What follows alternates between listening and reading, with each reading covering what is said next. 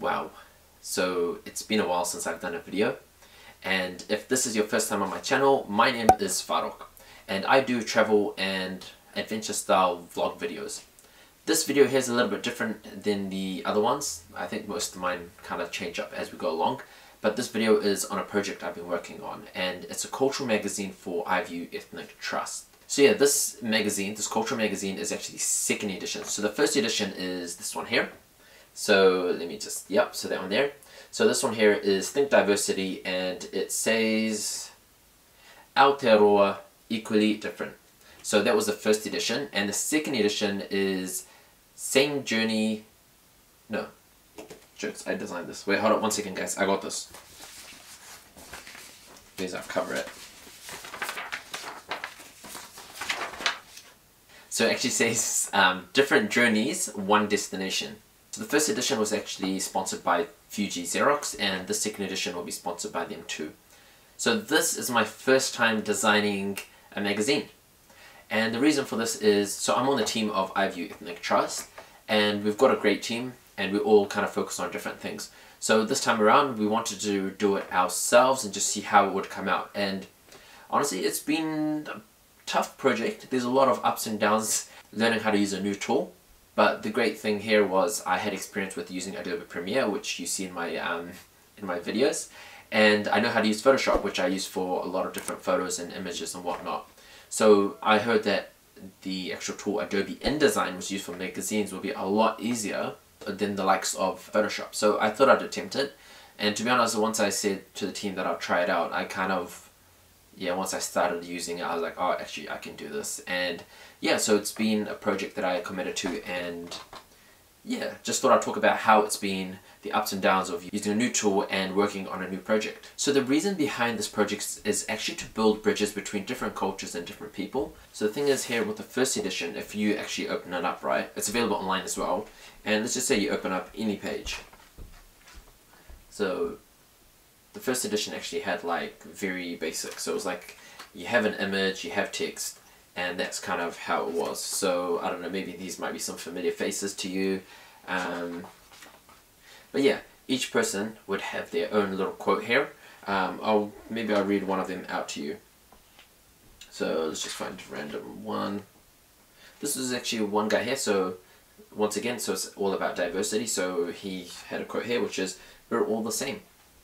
Or if I just open up another random one, so we got one of the bros here, so it goes, let's focus on our similar similarities rather than differences. So like small quotes like these that kind of were impactful, had deep meanings, but were quite short and easier to read.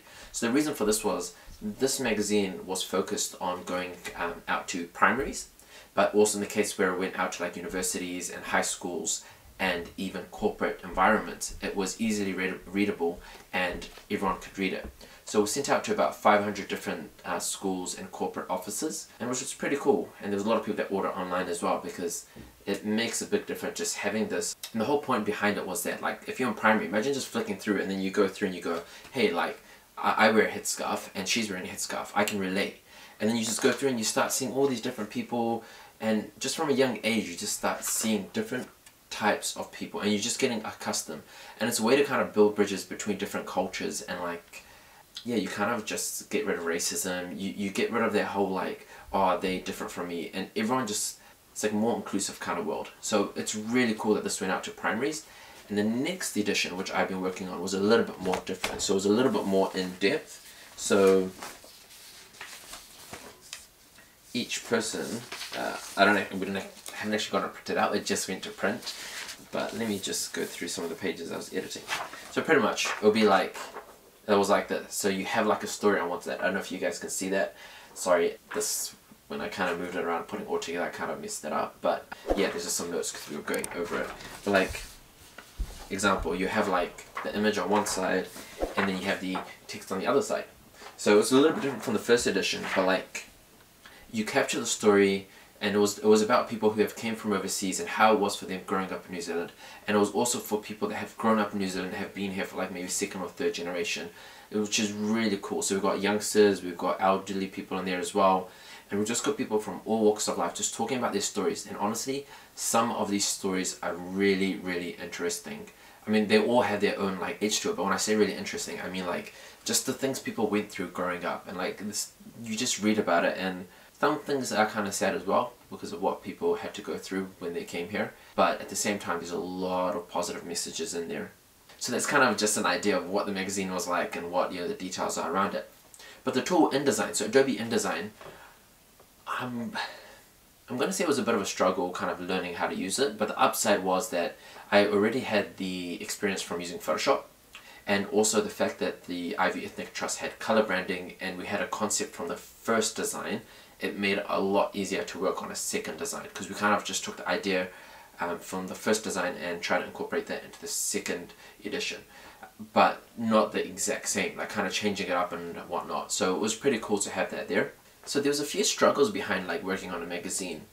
One of them was like trying to figure out a timing for the photo shoot to get people to come through. So everyone, you know, nowadays everyone's working, they've got commitments and was a bit of a struggle trying to get everyone to come through on the same day for photo shoots. So there are a lot of days where people commit and some people don't turn up.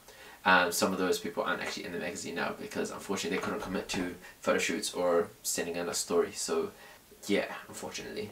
But then there were also the struggles of like trying to get a story from someone because yeah, everyone's busy.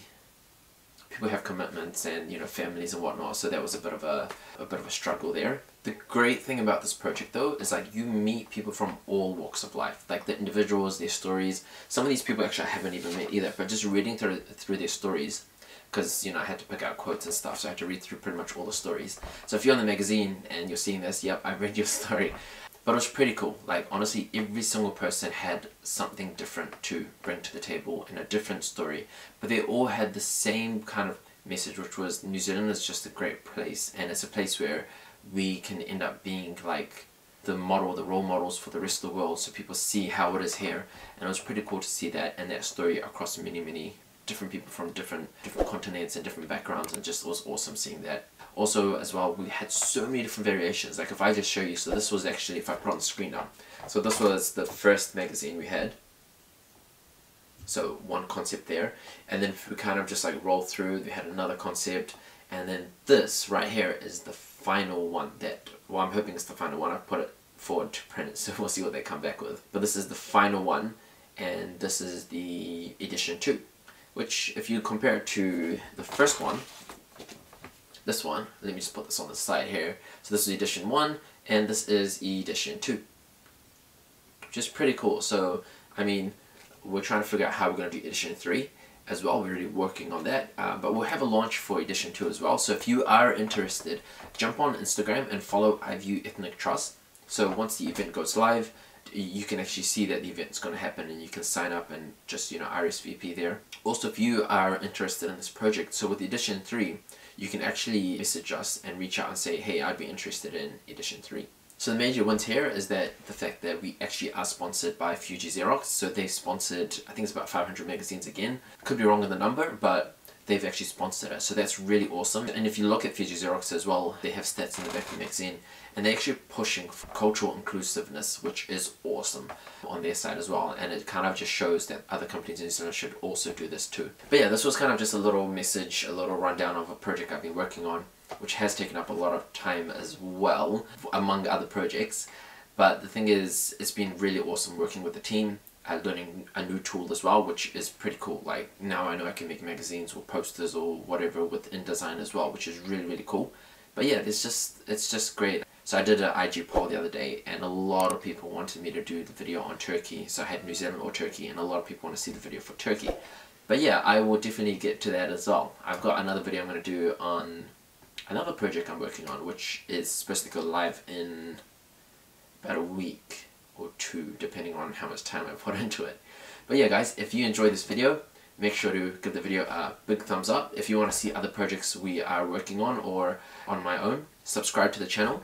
Make sure to hit that subscribe button. Honestly, like I know I haven't been pushing as much content out as I was supposed to. I had a series I was supposed to release as well, which I didn't. There will be more videos coming out and showing you behind the scenes of one of the other projects that's coming up in about a month but I can't really speak about that one now. But yeah, if you enjoyed this video, big thumbs up, like the video, uh, sorry, big thumbs up, subscribe to the video, and I'll catch you guys up next time.